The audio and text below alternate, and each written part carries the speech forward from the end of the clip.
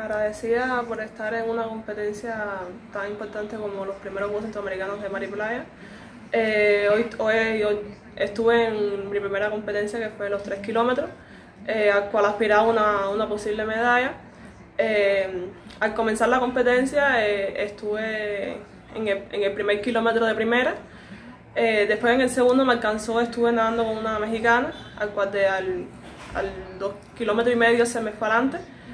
Eh, ya en el 3 kilómetros, en el último kilómetro, se me acercaron mexicanas, colombianas, ya que han tenido, tienen un nivel, tienen una experiencia en esto, en, en las aguas abiertas, ya que esta es mi segunda competencia internacional.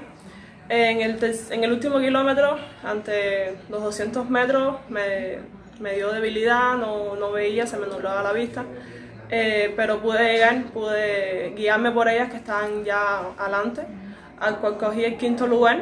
La verdad que estoy un poco triste porque al final lo aspiraba un poco esa medalla.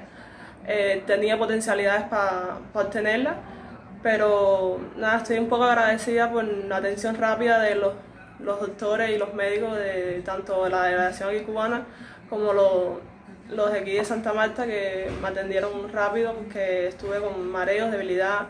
Mañana tengo el, relevo de, de 4 por mil Ahí vamos a ver si podemos coger, aspirar a una medalla.